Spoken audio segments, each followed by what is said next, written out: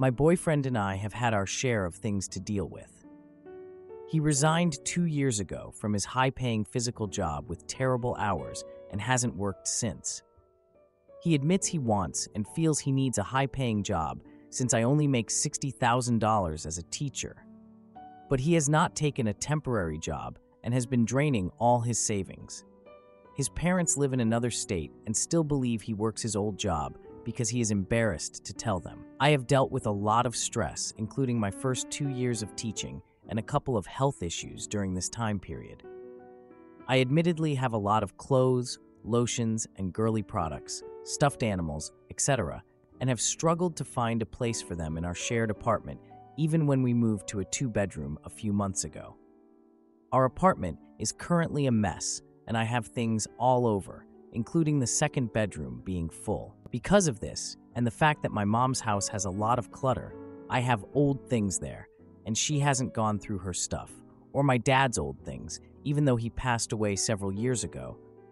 He has repeatedly accused me of being a hoarder and has threatened to leave me and not marry me over it. I acknowledge that I need to clean and organize things, and my best friend has offered to help. That is a recent offer, and I will take her up on it, likely, even though I'm embarrassed. But my boyfriend is not perfect and is not taking any responsibility for our problems and is creating more. We were on vacation and visiting his parents for the last week and a half. He helped by loading my things into the car and drove the majority of the drive, even though I repeatedly offered to drive more. I spent time with all his family members, not only at the family wedding we attended, but also hours talking with him and his parents and other family members. All these family events took up a majority of the vacation, and I scheduled things to do around that. But during the last night we were there, he was supposed to help me pack things, I had bought some items for family and friends, some clothes and shoes, and was having trouble condensing things to fit in our car.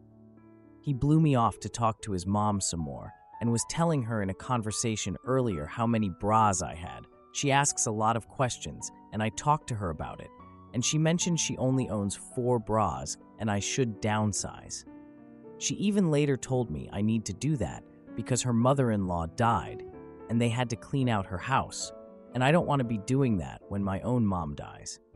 Anyway, apparently they talked more about this when I was upstairs packing. I didn't hear it initially, but later my boyfriend told me about what she said to him about me. This is what he told me Saturday night when I was stressed and we were leaving Sunday morning. Also, I'm leaving on a trip in two days with a friend, and he continues to escalate our situation. Saturday night, he said it wasn't his responsibility to pack my things and that I shouldn't have bought souvenirs because I have enough stuff and am a hoarder.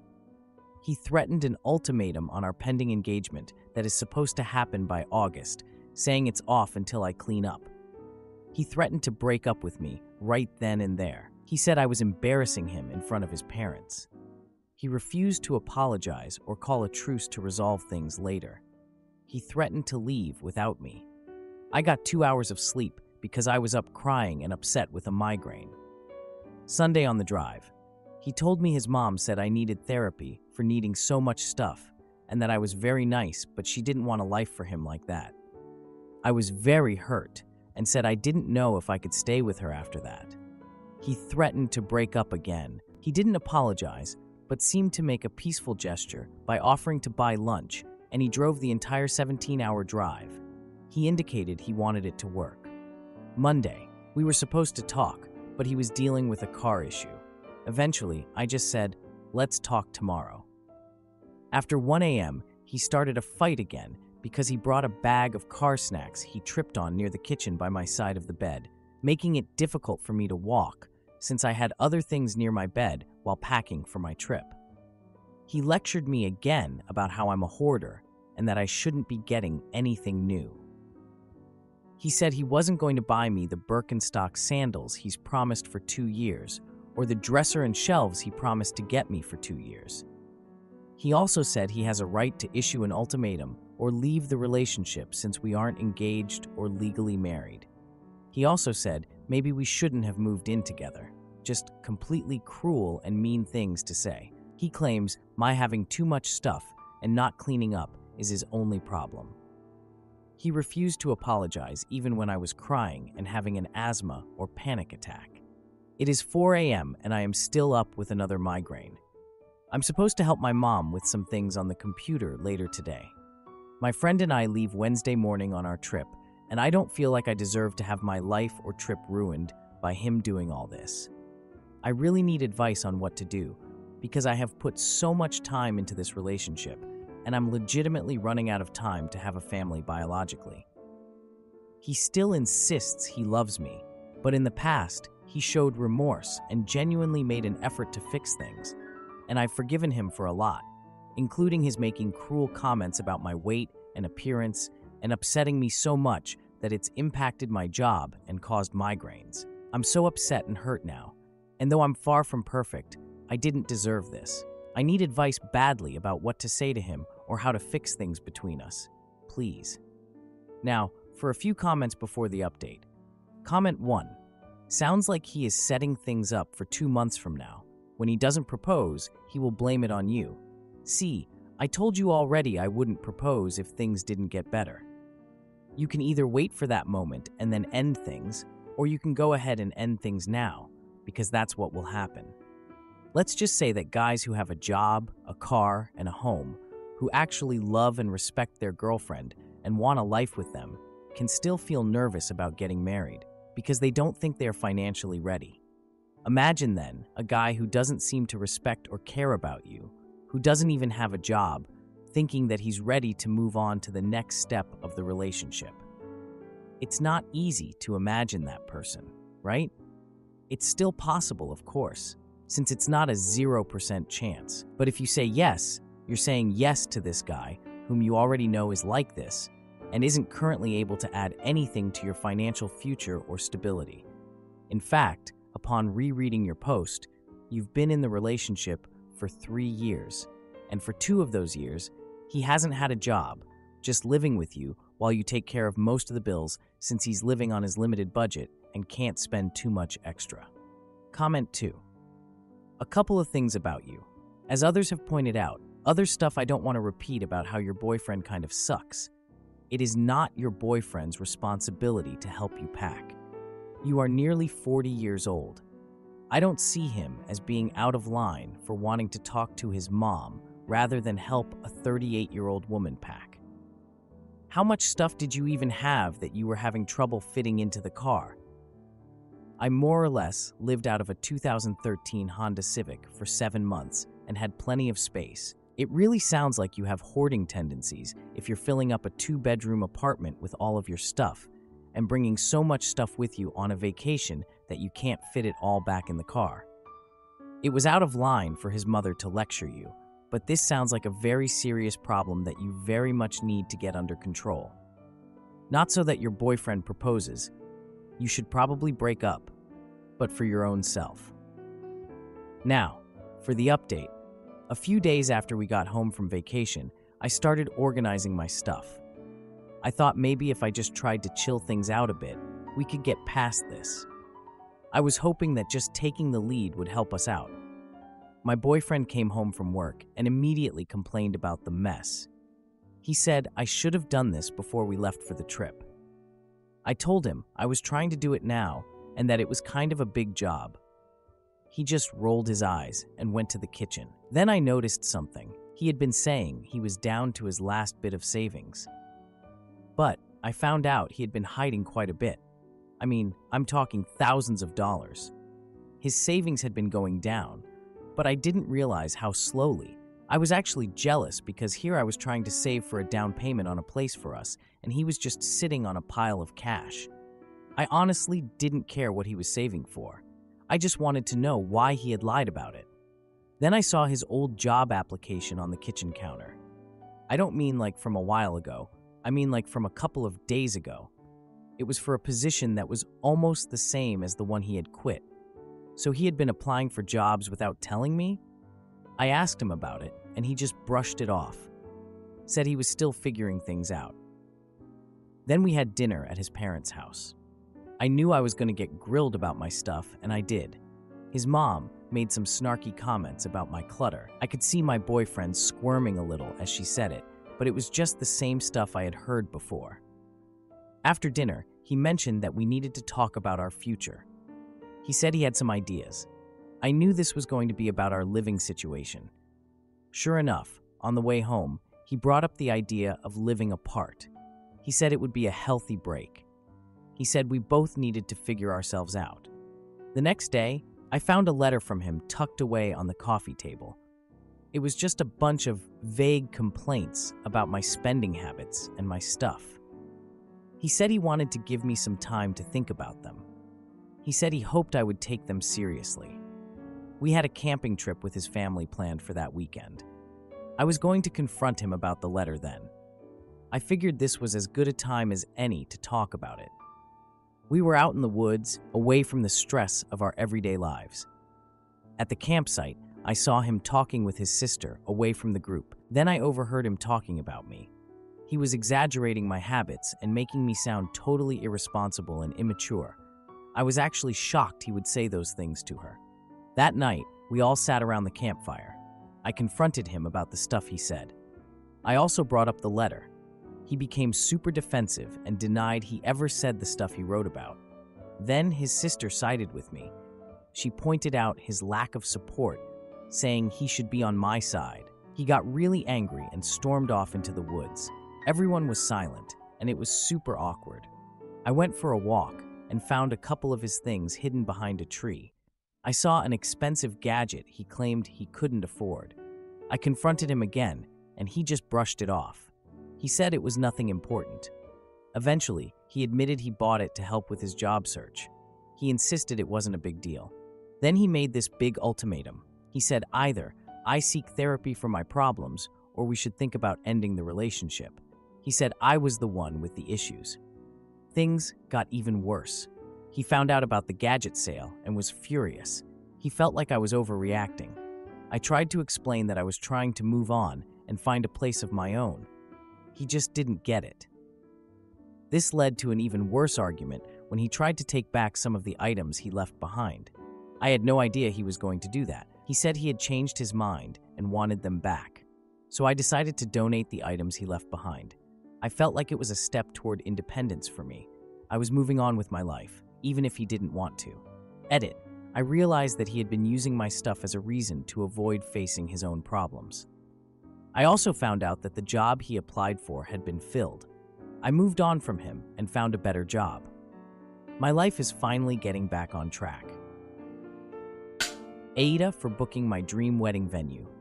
After my sister said she hated it, AITA for booking the same wedding venue as my sister and ruining her plans. I am 25 years old and my sister is 32 years old. Years ago, my fiance and I planned out our entire engagement and wedding plans well in advance. My sister unexpectedly got engaged a few months before I did, and I was so excited for her. She began to plan her wedding for next fall. After I got engaged, there was this unspoken expectation that I would not plan my wedding until 2026 and I told her that I would wait, although I was pretty unhappy doing this. However, recently my dad almost died and had to have a big life altering surgery, and I realized that I was the one 20 years from now who would regret it if, God forbid, my dad wasn't able to walk me down the aisle because I waited for two years. I reasoned with myself that I would not invite out of town guests so as not to impact her wedding, and so the wedding planning began for next summer because that's when our anniversary is. Okay, this is where things get kind of messy. I already knew where I wanted my reception from years ago, and we live in a town where there's not a huge selection of nice banquet halls. This particular venue is extremely popular in our town for hosting weddings. When my sister started planning her wedding, she would go on about how much she didn't like this place. However, she did a tour and decided to book it back in spring. I personally do not see why having my reception at this venue is a threat. My guest list is less than a third of the size of hers. There are maybe five guests who overlap. The reception is in a smaller room tucked away in the lower level, and it is an extremely popular venue in our area where many people we know personally have gone. My parents support me as they know I've always liked this venue. and I'm not booking it to intentionally upset her. When I told her, she completely blew up, saying, saying how upset she is that I'm getting married in the same year as her and how she's never felt more low and insignificant in her life. She then texted my mom, saying that she's cutting contact with the family, claiming my mom betrayed her by allowing me to make my plans and ripping her to shreds, even though she wasn't involved at all. For context, she has a dog that we take care of for her. My parents love this dog. He is literally a grandson to them, and they've cared for him for the past decade. Well, she said she's not going to allow him to be taken care of by my parents anymore as some sort of punishment, and that she'll only have him under our care when she's working. I just feel really guilty that my mom was dragged into this for absolutely no reason, not long after my dad had his surgery. Now, for a few comments before the update. Comment 1 Ugh, family dynamics around wedding planning can bring out the worst in people. If she is ready to cut ties over such a small matter, this might have been inevitable. We can't control how others react, but we can control our own responses. Taking a step back from the bridezilla could be helpful. She might calm down and come around, but if not, it's not worth beating yourself up about it. If she was willing to go nuclear over such a minor issue, it's likely this reaction would have been triggered by something else. And if that's how she feels, there's not much you can do except continue with your wedding plans. Just remember, None of this is your fault. Don't let her ruin your wedding. Comment 2. She's 100% jealous you got engaged before her. I wouldn't be shocked if she really pushed to get engaged so that she could get married before you. Here's the thing about people like her she is jealous of you and anyone else who is doing better than her. She will always be a brat unless she does some serious inward looking and people stop bending over to her will. She is welcome to throw a fit, but that's not you or your parents' problem. She's an adult who is almost 40. She can start to act like one. Now, for the update. Two days after my last post, I got a call from my mom. Right away, I could tell she was upset. Moms just have this way of making you feel like everything's falling apart with just how they sound. She says, We need to talk. And I'm thinking, Great, what now? Apparently, my sister Kate was still really mad about the whole venue thing. Not just a little upset, but ready to fight. She sent a group text to the whole family, demanding to know why I picked that venue. And on top of that, she basically accused our parents of playing favorites, saying they were on my side and not hers. Can you believe that? So my mom says we need to have a family dinner this weekend to talk about it. I was kind of dreading it, but I figured maybe a nice home cooked meal would help. My mom is an amazing cook, so I decided to bake a chocolate cake to bring along. I thought maybe a tasty dessert would make everyone a little less grumpy. The dinner was at my parents' house, and all my siblings were there. I got there early to help my mom with the food, and everything seemed pretty normal at first. But then Kate showed up. I mean, wow. She walked in with her arms crossed and didn't say a word to anyone. The vibe was so tense you could feel it in the air. My brother Jake tried to lighten things up by asking about the wedding plans, but no luck. Kate immediately snapped at him, calling me selfish for planning my wedding before hers. I was already on edge, so I just explained my reasons again about how their dad's health scare made me realize I shouldn't wait. But then Kate had the nerve to say I was just making excuses. Like, what the heck? Jake tried to mediate, bless his heart, but he just made things worse. Then Kate dropped the news about the dog. She threatened to take it back from our parents, which made my mom really stressed out. She was trying to calm both of us down, but Kate just kept yelling. She said she felt replaced and didn't want to be part of the family anymore. At that point, I was just done. I didn't want to argue in front of my mom, so I suggested going outside for some fresh air. I thought it would help clear my head. Outside, I tried to talk to Kate, but she wouldn't even engage. She just walked away, leaving me standing there like a fool. Jake tried to convince her to stay, but she wouldn't listen. It was like talking to a wall. A week later, I saw that Kate posted on social media about a new venue for her wedding. And guess what? It was the same one I planned to use. Are you kidding me? I got a text from a family friend telling me about the post because apparently everyone else was just as shocked. The family friend mentioned that Kate was planning a fancy wedding and that she was telling people I was a jealous bride. A jealous bride? I mean, come on. So at that point, I just decided to take a step back. I focused on my own wedding plans and tried to ignore all the drama. A month later, I learned through a mutual friend that my mom was really stressed. Apparently, she told this friend that she was stuck in the middle of the whole fight, and I felt so bad. Edit. My fiance and I decided not to have a big family wedding, considering all the stress. We chose to have a small ceremony with friends at a local park. The venue controversy turned into a blessing in disguise because it brought us closer to our friends. We hadn't expected to feel so relaxed and happy. As for my family, my brother and a few relatives attended the ceremony to support us. No one else came, but it was okay. AITA for leaving my husband after he let his brother ruin our new home and yelled at me in front of him. AITA for leaving my husband after he broke his promise and let his brother ruin our home. I am getting tired of my husband. We started dating in 2020, so for four years, and we have been married for two years this month having had our wedding in October 2023. Today, my husband and I got into an argument where he chose to yell at me in the living room.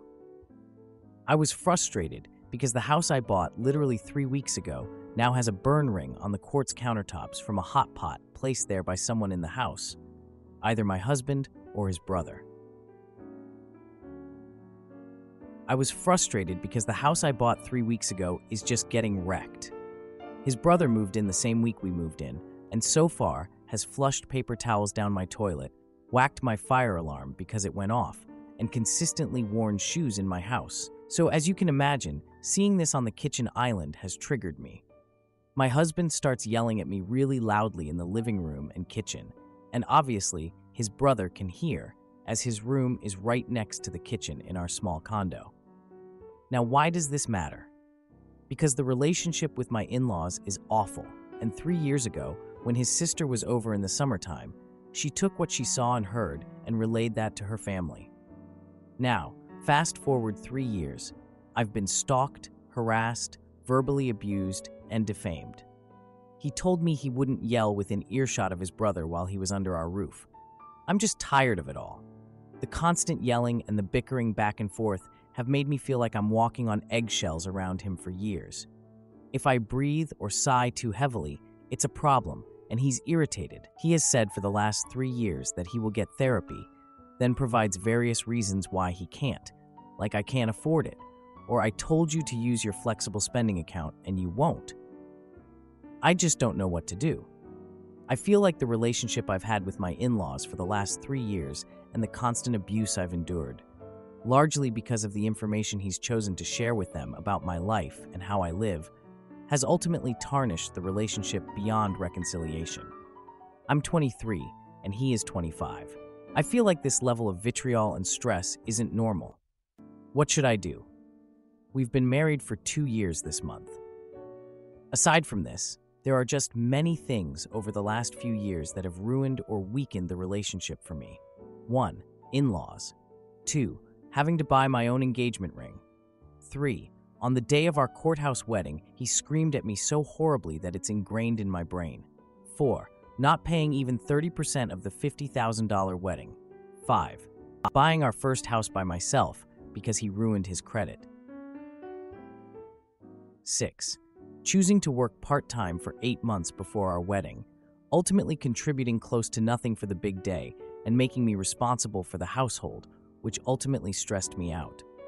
I haven't told anyone the truth about the situation out of sheer embarrassment, and largely to protect how my family sees him. Everything about our relationship was not normal, from the engagement to the wedding. I don't know what to do. I feel like maybe I have blinders on. He was my first boyfriend, my first kiss, my first everything. Is this what marriage is supposed to be like? Have I made a mistake? When I think about having children with him, I genuinely can't imagine subjecting them to this. To add, his brother is 17. He's not really the problem, just a bratty kid with no manners. Now, for a few comments before the update. Comment 1 Hi, OP. I'd ask you to reread your own post and tell yourself what you would advise your best friend in this scenario, and then listen to that advice. Why did you end up marrying this guy? There is really no upside to this, starting at the beginning of your relationship. Please don't trap yourself further and make a baby with him. No sunk cost fallacy. Protect yourself. Protect your assets. Get him out of your life. You are still very young. Enjoy. Explore safely, and then find an equal partner. All the best. Comment 2. If his whole family hates you and he doesn't have your back, treats you terribly, and refuses therapy, then this is not salvageable. You can't help those who refuse help, and when you marry someone, you marry their family too. Get out before it gets harder to do so. Talk to a family lawyer so you don't end up losing your house. Now, for the update. Two weeks after the last incident, my husband suggested dinner with his family to fix things. Just what I wanted. The dinner took place at a local Italian restaurant, a favorite of his brother who's been living with us. Yeah, living with us. It's a whole thing. Anyway, as soon as we got there, the vibe was just off. Like, I could feel the walls closing in on me. I was uneasy about my husband's family dynamics, to say the least. It felt like I was walking on eggshells, and the whole thing was just ridiculous. During the meal, my husband thought it was a great time to bring up the burn mark incident. I mean, really. He acted like it was no big deal. Like, excuse me, but I spent a lot of money on those countertops. The brother jumped in with his annoying jokes about how accidents happen, which just irritated me even more. I was like, dude, it's not just an accident, it's a permanent mark on something I just bought. When I tried to explain how it upset me, my husband raised his voice. Yeah, like our whole table wasn't already the center of attention, with other diners staring at us. The brother just laughed it off, saying it was just a countertop and not a big deal. I can't even explain how embarrassed I felt at that moment. I decided I needed a break from the table, so I headed to the restroom to collect myself. While I was in there, I overheard my husband and brother talking about me, calling me overly dramatic. How nice. I went back to the table and confronted them about what I heard, and it was just the most awkward silence ever. My husband denied saying anything bad, but the brother snickered, and I felt so alone. At that point, I just wanted to leave, so I insisted on going. I told them I couldn't handle the situation anymore. As we exited the restaurant, my husband grabbed my arm and demanded to know why I was making a scene. Like, really? You're gonna act like this in public? The tension boiled over, and we got into a heated argument in the parking lot. He accused me of ruining the dinner and making it all about me. Then, out of nowhere, the brother called out from the car, mocking us both, and that sent my husband into a rage. I suggested they should be more considerate as a family, but my husband didn't respond. We drove home in silence, and the atmosphere was just so heavy with unresolved issues. Once we got home, my husband slammed the door, and the brother laughed as he walked in. I was furious. I decided to pack a bag to stay at a friend's place for a few days. I texted my husband, letting him know that I needed space, and of course, he responded with anger. The next day, I went to my parents' house because I just needed to get away from the chaos. My parents noticed how upset I was and offered their support, even though they had previously warned me about my husband. They were like, We told you so, but still, they were there for me. Then I got a call from my husband demanding to know why I was at my parents' and what I was doing there. Like, what's it to you? He threatened to come over if I didn't return home and that just made everything worse. I was scared of a confrontation, so I decided to stay at my parents' until things calmed down. The brother even texted me, mocking my decision to leave, which only made me more determined to stay away. After a few days, my husband showed up unannounced at my parents' house, demanding to talk. My parents confronted him and asked him to leave, which just made him angrier. He insisted that I was overreacting and that we both needed to work on our issues. I was like, What issues? You mean your issues that you're dragging me into? The tension peaked when he tried to enter the house, which led to a shouting match at the front door. He eventually left in a rage. The brother sent another message saying it was my fault that their family was falling apart. Like I care? My husband attempted to reach out again, but I refused to respond and that just made my choice to walk away from this mess even stronger. Edit The next day, I called a friend to help me move my things from our house. I couldn't face my husband or his brother, so my friend took charge. We packed up my essentials and a few keepsakes, and then we left. I returned my key and left a note explaining my decision. If you like this video, you'll probably like these too. Also, while you're here, please consider subscribing. It's your support that keeps this channel alive and allows me to make better and longer videos. Have a great day